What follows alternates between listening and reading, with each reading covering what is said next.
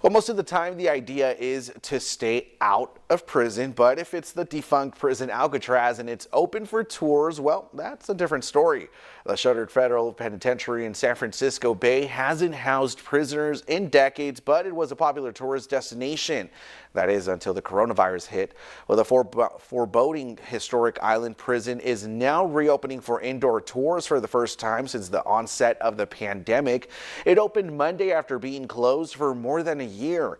Mask requirements, social distancing, and other health precautions are in place for all visitors.